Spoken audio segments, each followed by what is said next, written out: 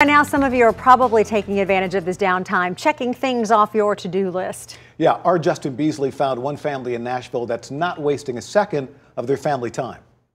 When you head to Grandma's house, your plan is to have fun and be spoiled for the weekend. And while both of those are true in this story, the grandkids are going to remember this trip for an entirely different reason. plant has lots of stems from the bottom. The deal between Mary Frances and her two grandkids was simple. You can stay, you can go, but if you go, you can't come back.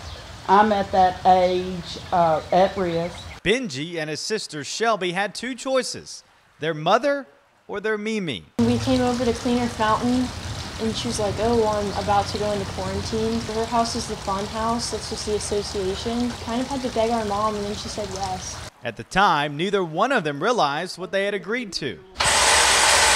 Taught them how to trim shrubs, just do basic gardening. We've been planting seeds. Shelby even cut clippings from other plants. If there was a project or something to learn, you could consider the challenge accepted. Benji has designed a Yoda quilt that he's making from scraps of fabric. They're both learning to drive. Shelby's learning to drive a stick shift.